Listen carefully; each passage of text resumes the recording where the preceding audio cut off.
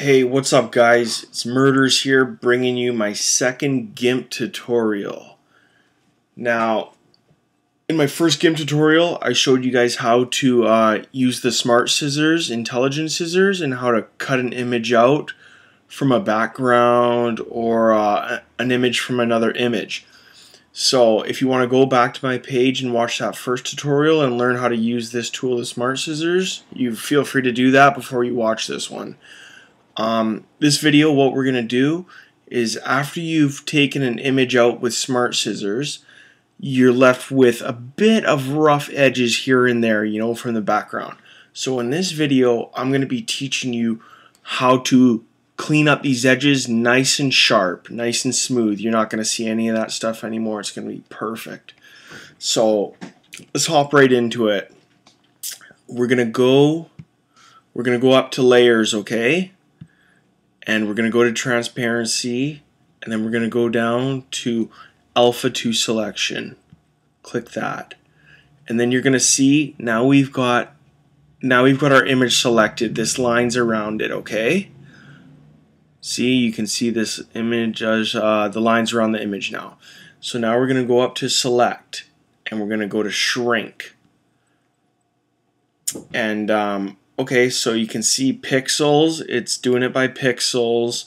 Make sure this is unchecked. Shrink from Im image from border. Uncheck that. And um, yeah, two two pixels seems like a good place to start. And what it's going to do is going to bring this dotted line in. It's going to bring it in a little bit. So here we go. We're going to click OK. Okay.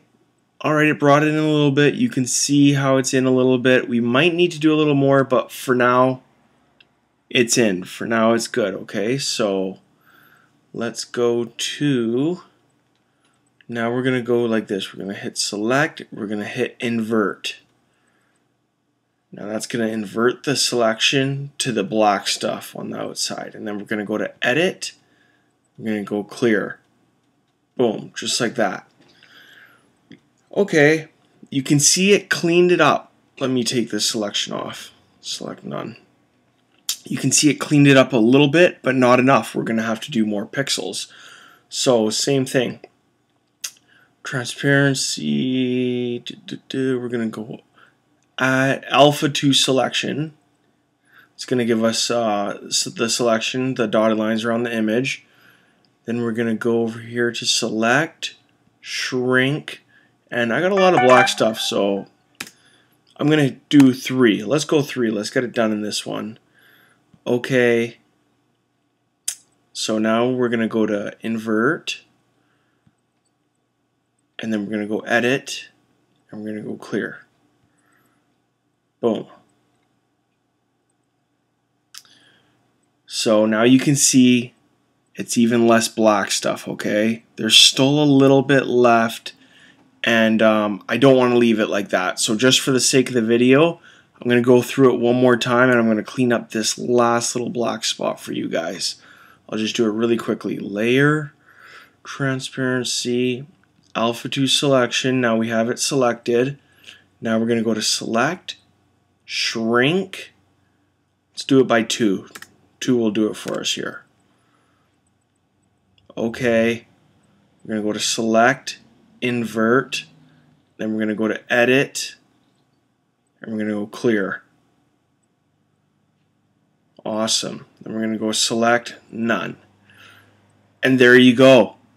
Now you can see the outside. It's awesome. It's totally clean. It's sharp.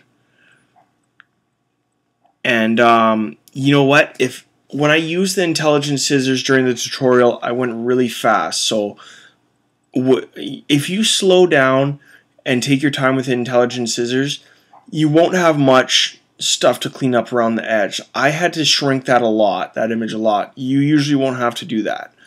So, alright guys, I hope you enjoyed my tutorial. I hope you learned learned something. And you can use this shrink feature uh, in so many different um, ways. Like, it'll be such a useful tool to know how to do that. So please watch this tutorial again, test it out, and uh, just I just want to let you guys know this GIMP program, it's 100% free.